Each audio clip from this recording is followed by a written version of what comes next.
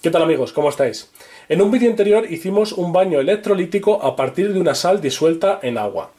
En esta ocasión vamos a hacer el mismo baño, pero a partir de un metal, ya que muchos me lo habéis pedido, cómo se realiza, por ejemplo, este procedimiento en joyería. Así que vamos a ver cómo se hace un baño electroquímico a partir de un metal. Comenzamos.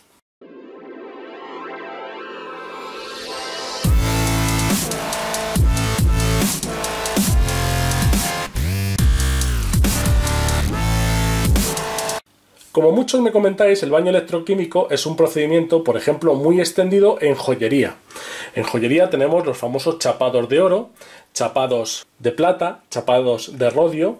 Lo que no es tan común es que eh, asociemos el proceso electroquímico a procesos industriales, como por ejemplo los famosos cincados con los que protegemos eh, de la corrosión diferentes metales o, por qué no, los baños de cobre. Por ejemplo, en estas pinzas de batería que tengo aquí, de este inversor, ya lo hemos visto también en otros vídeos, las pinzas llevan un chapado de cobre. Aquí las estáis viendo. No son las típicas pinzas de acero. Bueno, realmente sí llevan el acero debajo, pero por fuera llevan un recubrimiento de cobre para mejorar la conductividad eléctrica. Podríamos pensar que son eh, de cobre macizas, pero eso sería muy caro y no es rentable. Para convenceros, os voy a enseñar aquí una pequeña muesca donde aquí vemos el metal que lleva debajo y por fuera vemos el chapado de cobre.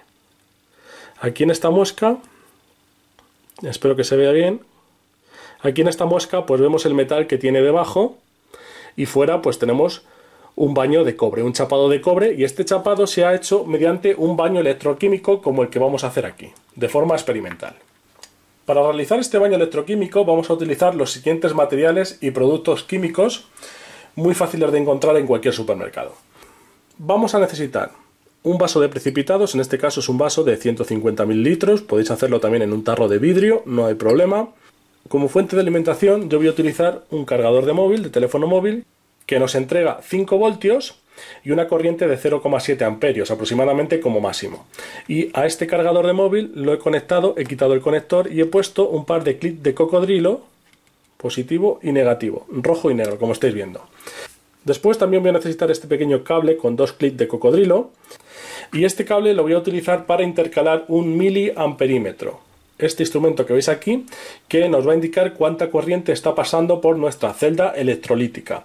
Me gusta utilizar el miliamperímetro porque este experimento, si se utiliza en educación, se puede complementar con un ejercicio que es calcular cuántos gramos de cobre se han depositado en el elemento que vamos a bañar electrolíticamente. Es un ejercicio muy interesante para el cual necesitamos saber cuánto tiempo ha estado circulando una corriente, en este caso la que midamos en el miliamperímetro. Como material de partida, el elemento metálico a partir del cual vamos a obtener el cobre, yo voy a utilizar un trozo de tubería de cobre. Esta que veis aquí, un trocito pequeño.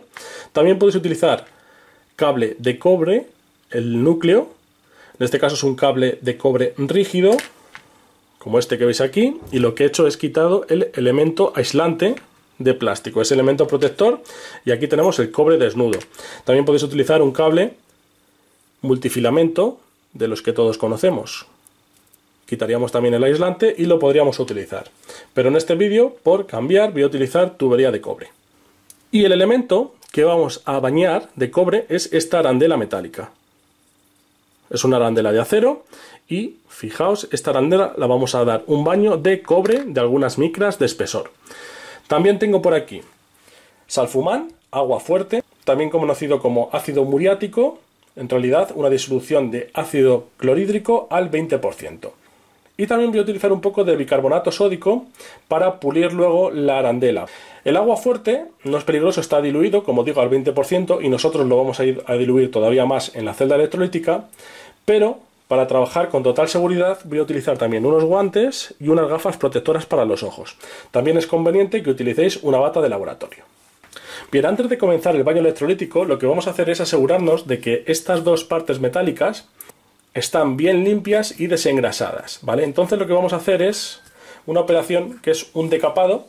Vamos a verter un poco de agua fuerte del ácido clorhídrico en un vaso y la vamos a dejar ahí un poco de tiempo para quitar todas estas impurezas que tiene en la superficie y que luego el cobre agarre mejor en la pieza metálica. Bien, por lo tanto nos ponemos los guantes, las gafas, las protecciones, cogemos el vaso, vamos a verter unos mililitros de agua fuerte, con esto será suficiente, y a continuación vamos a introducir la arandela suavemente, sin que salpique, y el trozo de tubería de cobre para, como digo, limpiar las impurezas.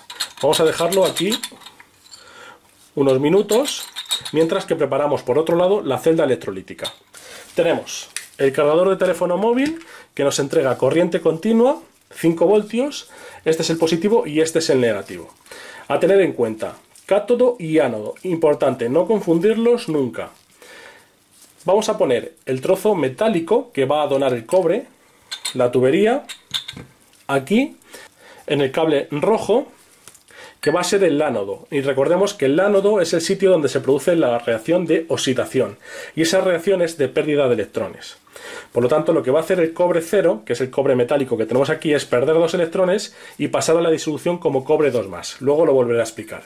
Por lo tanto, este es el ánodo y el negativo, el negro, va a ser el cátodo, donde se produzca la reducción. Y la reducción es una reacción donde ganamos electrones.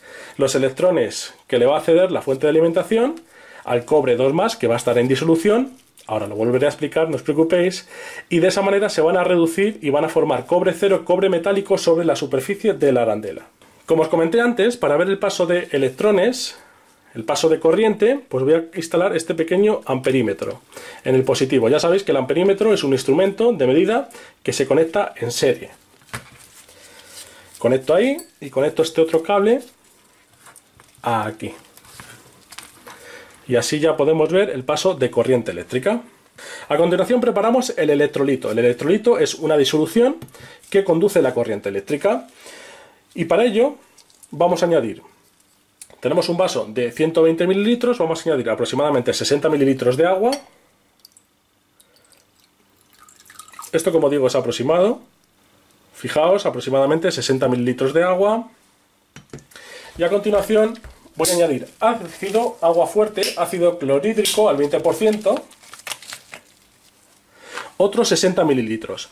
Por lo tanto, el salfumán, el agua fuerte, lo vamos a diluir a la mitad, es decir, 60 de agua y 60 de agua fuerte, ácido clorhídrico. Entonces, si esta disolución es del 20%, la disolución final de ácido clorhídrico en el vaso será del 10%.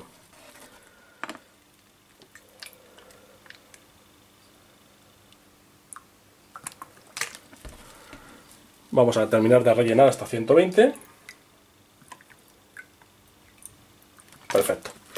A continuación, una vez que hemos ya eh, limpiado estos dos elementos, vamos a extraerlos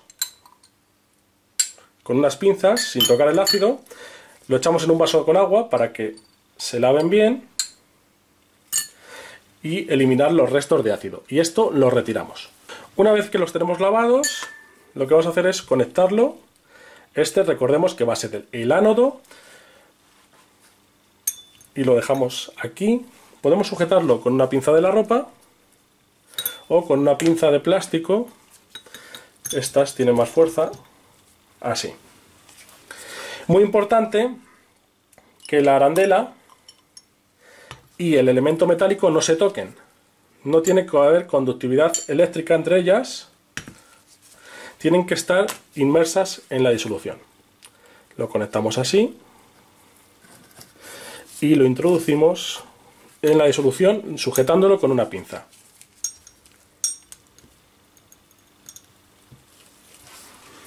Bien, ahora conecto el cargador y empieza el proceso del baño electrolítico. Lo conectamos en una regleta, en un enchufe y vais a ver, fijaos, el miliamperímetro en este caso nos indica que hay un paso de corriente superior a 500 miliamperios. Fijaos que la arandela, donde se va a hacer la deposición del cobre, comienza a burbujear y la celda ya está trabajando. Vuelvo a explicar un poco las reacciones electroquímicas que tienen lugar. Tenemos un metal, que es el donador, colocado en el cable eh, positivo, el cable rojo, que en este caso es el ánodo, el lugar donde se produce la reacción de Oxidación. La reacción de oxidación implica una pérdida de electrones. Tenemos cobre metálico, cobre cero, en el tubo y ese cobre cero pierde dos electrones y pasa a la disolución como cobre 2 más. Ese cobre 2 más migra por la disolución y se dirige hacia el cátodo. El cátodo es el polo negativo, el de color negro, en donde tenemos la arandela que queremos bañar de cobre. El cobre, como digo, viene por la disolución, llega a la superficie de la arandela y en la superficie sufre una reducción. Una reducción significa que gana dos electrones que cede la fuente de alimentación y esos dos electrones hacen que pase de cobre 2 más a cobre 0, cobre metálico nuevamente, pero esta vez se fija sobre la superficie de la arandela. Por lo tanto, poco a poco el cobre va migrando desde el tubo metálico hasta la arandela y se deposita en la superficie. Vamos a dejarle como 5 o 10 minutos. En función de la capa que queramos obtener en micras, pues deberemos dejarlo más o menos tiempo. Si hacemos zoom sobre la arandela, vamos a observar que poco a poco va cogiendo el color característico del cobre.